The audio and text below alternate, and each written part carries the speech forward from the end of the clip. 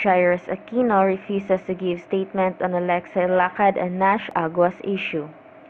Nadawit ang pangalan ni Jairus nang banggitin ni Alexa sa presko ng pelikulang Santiguar na nakaranas sila ni Jairus ng pambubuli mula kila Nash at Charlene. Sinubukan kuna ng pep.ph ng reaksyon si Jairus tungkol dito.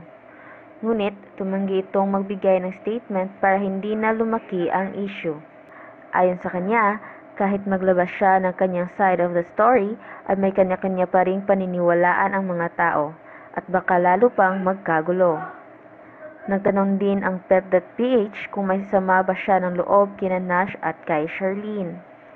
Sagot ng aktor, sama ng loob, hindi na lang, hindi na lang. Okay na ako, trabaho na lang ako. Naiintindihan din ni Jairus ang pinanggagalingan ng mga statement ni Alexa. Sinabihan din niya ang media na wag nang palakihin pa at itigil na ang issue dahil masaya na siya sa buhay at trabaho niya.